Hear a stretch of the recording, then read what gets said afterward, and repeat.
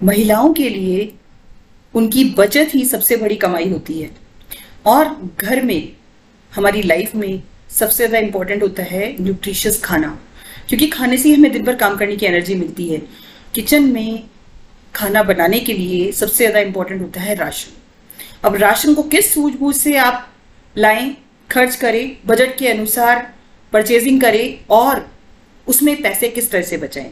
यही है आज का टॉपिक कि घर में ग्रोसरीज में राशन में पैसे किस तरह से बचाएँ महिलाएँ। सबसे पहली चीज़ आ जाती है अवॉइड वेस्टेज देखिए छोटी छोटी बातों पर ध्यान देकर ही भी हम बचत कर सकते हैं।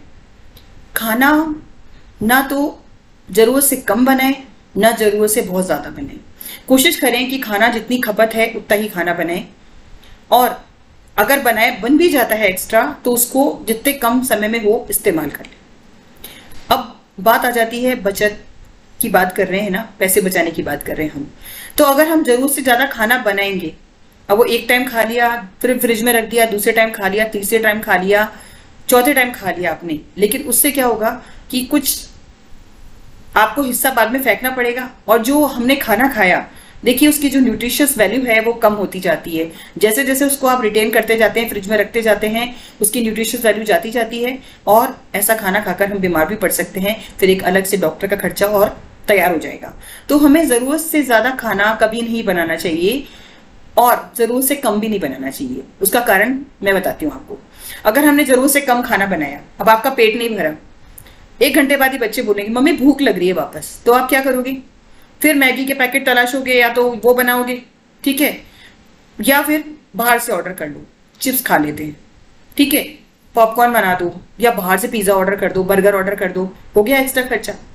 तो कोशिश यही करिए कि खाना ज़रूरत से कम भी मत बनाइए और ज़रूरत से ज़्यादा भी मत बनाइए। ये तो बात हो गई खाने की। अब हम बात कर रहे हैं ग्रॉसरी के बारे में।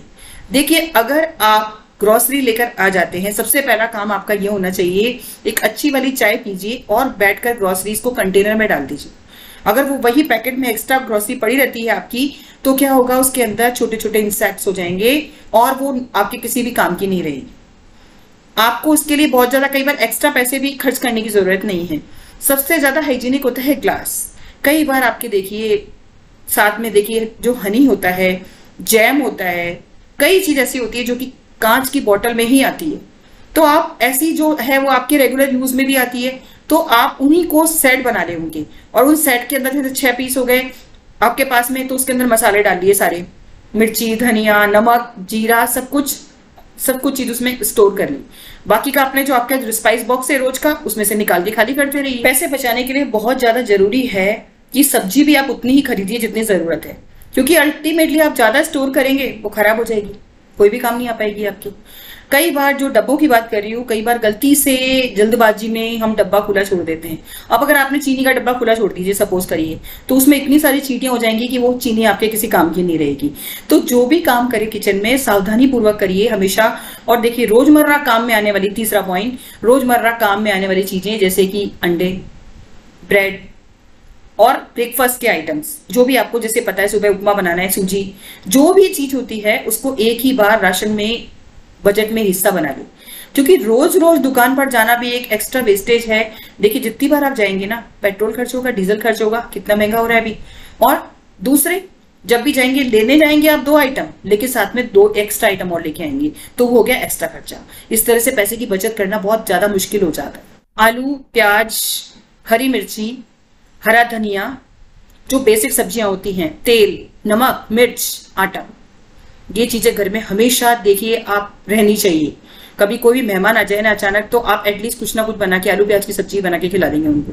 ये स्थिति नहीं होनी चाहिए। मैंने यही कहा है कि ज़रूर से ज़्यादा राशन खरीदना और ज़रूर से कम राशन और सब्ज़ियाँ खरीदना दोनों ही चीज़ें बिल्कुल गलत है। तो इस चीज़ पर बहुत ध्यान देना ज़रूरी है। पूरे हफ़्ते की प्लानिंग कर दीजिए। नाश्ते में क्या बनेगा? लंच में क्या बनने वाला है? डिनर में आप क्या बनाने वाली हैं? और उसी के हिसाब से ग्रोसरी का अंदाज़ा लगा लीजिए। जैसे हफ़्ते का लगाती है, इसी तरह से महीने का अंदाज़ा लगा लीजिए। और बहुत एक्स्ट्रा सामान मत खरीदिए और ना ही इधर उधर रखिए। दो ही जगह बनाइए। एक मेन स्टोरेज जो है सपोज़ करिए आपने, आपके पास पाँच किलो चावल है तो उसका एक बड़ा डब्बा होगा और एक कंटेनर जो कि डेली यूज़ में चल रहा है, एक वो होना चाहिए। इसी तरह से और भी जो भी आइटम दालें वगैरह जो भी आप इस्तेमाल में करते हैं ना, सब कुछ चीज़ें भिगोने वाले आइटम हैं स्प्राउट्स हैं, छोले हैं, राजमा है, दाल मखनी बनाते हैं तो उसके लिए जो साबुत मूंग, साबुत उड़द जो होती है, सब चीज़ें उसी हिसाब से लाइए कि आपको पूरा plan for a week plan for a month वैसे तो महिलाएँ बचत करने में बहुत होशियार होती हैं, लेकिन इसके अलावा फिर भी एक चीज़ मैं आपको बोलना चाहती हूँ, हमेशा एक ही जगह से सामान मत खरीदिए, क्योंकि फिर आपको क्या होता है रेट का अंदाज़ा नहीं लग पाता। जब भी आप राशन लेने जाएँ तो हमेशा कई दुकानों को एक्सप्लोर करें, उस पर्टिकुलर प्रोडक्ट्स की जो प्राइसेस हैं उनको कंपेयर करें और जहाँ आपको सबसे ज़्यादा रीजनेबल प्राइस लगती है और सबसे ज़्यादा इंपॉर्टेंट ये है कि एक्सपायरी डेट भी देख लीजिए, कोई चीज़ ऐसी नहीं, जैसे जैम वगैरह है, जल्दबाजी में कभी भी शॉपिंग करने मत जाइए।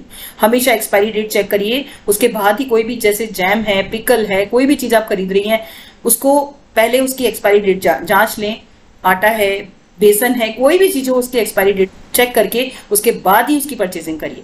महीने के राशन की ग्रोसरीज जो आपको चाहिए, वो ग्रोसरीज की शॉपिंग के लिए कोशिश ये करिए, खा पी कर ही जाइए ब्रेकफास्ट करके जाइए अच्छी तरह घर से। नहीं तो आप जब अगर शॉपिंग के लिए निकली हैं, पता चला हल्की हल्की बारिश हो रही है, गर्म समोसे बन रहे हैं, पास में हलवाई की दुकान पर जलेबी बन रही है, कचौड़ी बन रही है, अब आपका ध्यान राशन खरीद में नहीं होगा, पहले होगा ये खा गर्मी है तो यार, गन्ने का रस पी लेते हैं पहले तो। या आइसक्रीम खा लेते हैं पहले। पेट अगर आपका भरा हुआ होगा ना तो कहीं पर देखने की इच्छा भी नहीं होगी। सीधा अपना मोटिव जहाँ पे आप जा रहे हैं, वही काम आप करेंगे। इससे एक फ़ायदा और भी होगा ब्रेकफास्ट के बाद जाने का, कि आपके बच्चे छोटे हैं स्कूल गए होंगे। कोशिश ये करिए बच्चों को साथ में लेकर ना जाए। एक तो इससे आपकी कंसंट्रेशन खराब होगी। दूसरे, वो जिद करके चॉकलेट बिस्किट किंडर जॉय कुछ ना कुछ एक्स्ट्रा सामान आपके उसमें डाल ही देंगे और उससे आपका एक्स्ट्रा वाला खर्चा हो जाएगा। अपने हस्बैंड को अगर आपको लगता है कि आपको शॉपिंग में कोऑपरेटिव है वो और आप मिलजुल के खरीदारी करते हैं दोनों तो एक पहले ही घर पे बात कर लेंगे ये सामान लाना। है उससे क्या होगा कि वहाँ जाकर आपको दिक्कत नहीं आएगी। अगर आपने पहले से डिस्कस नहीं किया है तो आपके हस्बैंड अगर गाड़ी में बैठे रहने वाले हैं तो बोलेंगे जल्दी से जो भी खरीदना है फटाफट खरीदो मैं यही बैठूँ। उससे आप कॉन्सेंट्रेट नहीं कर पाएँगे शॉपिंग पे और गलत परचेजिंग भी हो सकती है। या फिर अगर आपने उनसे पहले ही शेयर कर लिया तो वो आपको दुकान पर नहीं बोलेंगे ये क्यों ले रही हो या वो क्यों ले रही हो? क्योंकि उन्हें सब पहले से ही पता होगा कि ये ये सामान खरीदने के लिए हम जा रहे हैं। एक्सपायरी डेट के साथ ये भी ध्यान रखिए। पता चला आपको जो है एक टमाटो कैचअप की जो एक आती है पाउच आता है। उसकी एक्सपायरी डेट कंपनी ने पास है। एक्चुअली लाइक अभी सब अब, अब बस अभी ये समझिए नवंबर चल रहा है। ठीक है? या अभी सितंबर चल रहा है। और उसकी एक्सपायरी जो डेट जो है आपके घर में सिर्फ़ मेंबर है चार। और एक्सपायरी डेट है उसकी नवंबर के अंदर। सितंबर आप में ले रहे हो और नवंबर में खत्म हो जाएगी। और आपको अच्छी तरह पता है कि इन दो, ढाई, तीन महीने में आप उसको कंज्यूम नहीं कर पाओगे, क्योंकि उसके एक्सपायरी डेट पास है। तो आपके लिए उसकी कम प्राइस का कोई मतलब नहीं है। क्योंकि हेल्थ पॉइंट ऑफ़ व्यू से वो आपके लिए अच्छी नहीं रहेगी। तो राशन खरीदते वक्त इस चीज़ का बहुत ध्यान रखें। जो चीज़ बड़ी क्वांटिटी में है, बड़े पैकेज में है और जिसकी एक्सपायरी डेट पास है, उसे खरीदने की गलती ना करें। आप अपने परिवार का कंजम्पशन देखिए, आपकी ज्वाइंट फैमिली आपके घर मेंबर ज़्यादा है, सभी कुछ ना कुछ कटलेट सैंडविच सबके साथ सॉस लेते हैं अच्छा कंजम्पशन है then you can go for it कई चीज़ें जो कि न्यूट्रिशियस वैल्यू रखती हैं, पनीर घर पे बना सकते हो आप, दही घर पे जमा सकते हो make at home eat at home क्योंकि उसकी फ्रेशनेस जो होगी, वो अलग होगी, उसको आप रिटेन कर पाओगे। कुछ चीज़ें जो आप बाहर से मंगाते हो, वो भी घर पे बनाइए लाइक पिज़्ज़ा डोसा, मंचूरियन। घर पे बनाने के फ़ायदे दो होंगे। एक तो बाहर से जो आप मंगाते हो बहुत महँगा पड़ता है एक्सपेंसिव पड़ता है आपको। और सेकेंडली उसके अंदर क्या ये ऑयल यूज़ हुआ है, किस तरह के इंग्रेडिएंट्स यूज़ हुए हैं, वो भी आपको नहीं पता। आप जो बनाओगे लेस स्पाइसी बनाओगे, अच्छे ऑयल में बनाओगे तो उसकी फ्रेशनेस और जो बच्चों की हेल्थ है, उसके लिए भी वो बहुत अच्छा रहे सिर्फ़ एक बेस ले आइए बेस के साथ में म्योनीज है, पिज्जा चीज़ है मोजेला चीज़ है छेदार चीज़ है, जो भी एक बार लेकर आ जाइए, वो कई बार चलेगा, आपको सिर्फ़ बेस लेके आना पड़ेगा। बाकी आप उसको इतनी बार यूज़ कर सकती हैं, पैसे की बचत ही है ना ये भी तो। एक तरीका और बताती हूँ आपको। कई बार बड़े जो पाउच होते हैं ना, उनके साथ वन प्लस वन ऑफ़र होता है। तो महिलाओं को ये करना चाहिए, उनकी कोई अच्छी फ्रेंड अगर आसपास है और आपके रिलेशन ऐसे हैं तो आप उनके साथ शेयर कर लीजिए। वो सपोज़ करिए, दो सौ रुपए के पड़े आपको बाय वन गेट वन में तो वो आपको आप एक उनको दे दीजिए, एक अपने पास रख लीजिए। शिविल पे यू तो वो आपको हाफ़ प्राइस में ही पड़ेगा। क्योंकि कई बार बाय वन गेट वन में दोनों प्रोडक्ट लेना ज़रूरी हो जाता है। अगर बाय वन गेट वन के अंदर आपको एक पे भी बराबर डिस्काउंट मिल रहा है, तब तो आप एक ही लीजिए।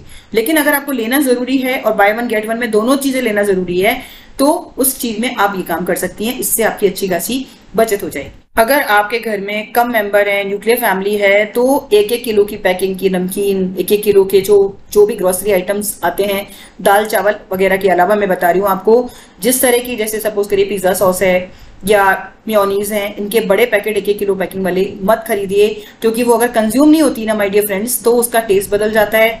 उसका, उसकी जो न्यूट्रिशियस वैल्यू है, वो खत्म हो जाता है। बाय वन गेट वन देखकर अगर आप एक एक किलो के दो नमकीन के पैकेट एक आलू भुजिया और एक लाइक वो आती है ना मूंग की दाल वाली मोगर, वो आप लेके आ जाते हैं तो क्या होगा? वेस्ट होगा और खराब हो जाएगा पड़ा पड़ा क्योंकि इतना बच्चे खा भी नहीं पाएँगे एक साथ में, उसका टेस्ट बदल जाएगा और बारिश के मौसम में तो सीलन भी आ जाएगी उसके अंदर। तो आपको इन सब चीज़ों का बहुत ध्यान रखना है। खाली उतने ही, तब उस केस में आप छोटे पैकेट लीजिए 200 ग्राम 250 ग्राम तक के मैक्सिमम इससे ज़्यादा मत खरीदिए। एक बहुत ज़रूरी बात, घर से जब भी जाए ना, देखिए अभी वैसे भी गवर्नमेंट ने प्लास्टिक बैन कर दिया, अच्छी चीज़ है अच्छी कोशिश है ये फॉर इको फ्रेंडलीनेस लेकिन हमेशा थैला लेकर के जाएँ। उससे क्या है, आपको एक्स्ट्रा चार्जेस जहाँ भी मैंने कई जगह देखा एक दिन आप कपड़े खरीद लेते हैं, लेकिन आपको थैला, मैम, थैला, आपके साथ बैग करना है क्या? लीजिए आपसे एक्स्ट्रा दस रुपए चार्ज कर लिए। वही आपके पास अगर बैग होगा तो आप उसको, उसके अंदर तुरंत रख लेंगे। और कई मॉल से भी खरीदारी कर रही हैं तो आजकल क्या है कि बिल्कुल जो प्लास्टिक बैग्स हैं बैन हो गए और वो साड़ियाँ जो यूज़ की हुई होती है, उनकी बनी हुई थैलियाँ होती है, उसमें डाल के आपको देते हैं, और एक एक थैली के आपसे चार्ज कर लेते हैं। तो बेटर है ना, घर से साफ़ सुथरा धुला हुआ थैला ही लेकर जाइए ना। तो इस, कुछ लोगों की सोच जो पुराने हमारे थे ना, हमारी दादी नानी सा की सोच बहुत अच्छी थी इस मामले में। पुराने लोग कैसे थैला लेके जाते थे घर से जब उन्हें सामान खरीदना होता था। तो हमें भी वही करना चाहिए। महीने का बजट बनाते वक्त सैलरी आते ही सबसे पहले ग्रोसरी के लिए जो खर्चा है, जो पैसे हैं, उसका हिसाब लगा करके अलग निकाल दीजिए। और कोशिश करिए कि पेमेंट कैश में ही करें। अगर आप पेमेंट कैश में करेंगे ना तो कैश खर्च होने का दर्द होता है। पाँच सौ का नोट गया, दो हज़ार का गया। तो आप शॉपिंग आपकी जो होगी ना, अपने आप उसके ऊपर स्टॉप फुल स्टॉप लग जाता है। वही अगर आप, अगर ऑनलाइन पेमेंट करना चाहते हैं तो उसी केस में करिए कि बहुत ही अच्छा कैशबैक है। आपको अगर पता चला कि हज़ार रुपए का सामान खरीदने पे आपको सौ रुपए कैशबैक हो रहा है तो there is no problem in doing online payment पर कोशिश रखिए, देखिए, जो हमारे पुराने लोग करते थे ना, कई चीज़ें वहाँ से सीखने वाली है हमारे को कि हमें पता चलता है जब कैश जाता है ना तो हमें दुख होता है। और उस हिसाब से हम अपनी शॉपिंग को लिमिट कर लेते हैं। कितनी बार जाने अनजाने हमसे खा, खाना ज़्यादा बन जाता है राशन ज़्यादा आ जाता है।